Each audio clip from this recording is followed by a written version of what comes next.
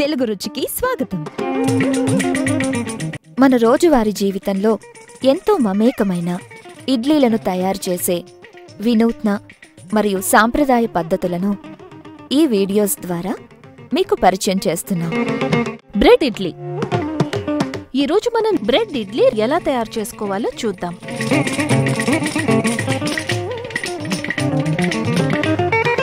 ముందుగా బ్రెడ్ ముక్కలు తీసుకుని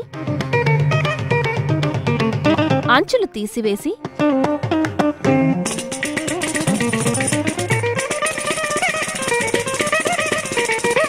తరువాత ముక్కలు చేసి మిక్సీ జార్లో వేసి మిక్సీ పట్టాలి. తరువాత ఒక గిన్నెలో వేసి అందులో ఇడ్లీ రవ్వ పెరుగు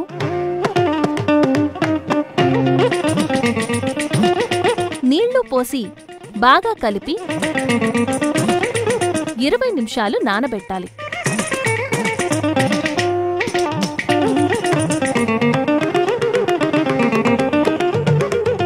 ఇప్పుడు ఇడ్లీ పాత్రలకు నెయ్యి రాసి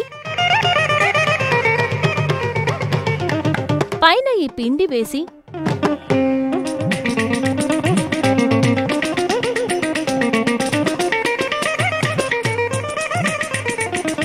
ఆవిరిపై ఉడికిస్తే